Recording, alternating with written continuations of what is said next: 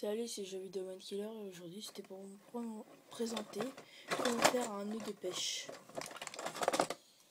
Alors d'abord il faut du fil de pêche, voilà. Attaque. Coupe pas vraiment très bien. Attendez.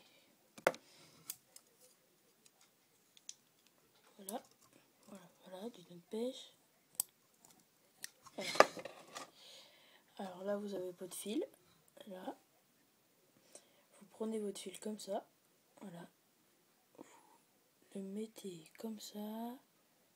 Ah, voilà, qui fasse une boucle en fait, comme ceci. Une boucle. Après, vous prenez l'autre bout de la boucle. Vous le mettez comme ça pour qu'il fasse un double fil. Voilà, comme ça. Un double fil. Là, vous pliez comme ceci. Là, ça va vous faire une boucle. Vous tenez le milieu de la boucle. Et là, vous avez ici, là, une toute petite boucle. Et vous la rentrez à l'intérieur de la boucle. En fait, voilà. Tac. Voilà.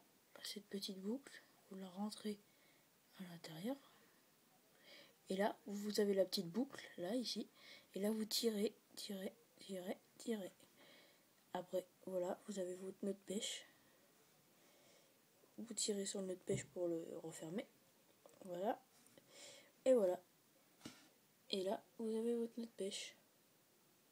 Simple et facile. On va au revoir. Et euh, bonne pêche.